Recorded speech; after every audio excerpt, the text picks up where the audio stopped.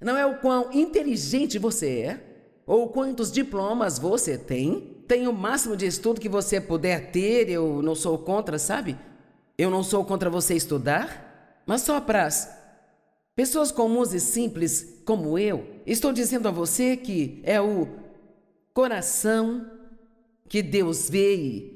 Ele vê coisas como você é excelente quando ninguém está te olhando, você faz a coisa certa quando ninguém está olhando, você vai se sacrificar para servi-lo mesmo que não seja pago por isso? Sabe, eu me lembro de anos e anos atrás, sabe? As pessoas se voluntariavam para tudo. Mas ao longo dos anos chegou ao ponto em que as pessoas não queriam fazer um movimento se não fossem pagas.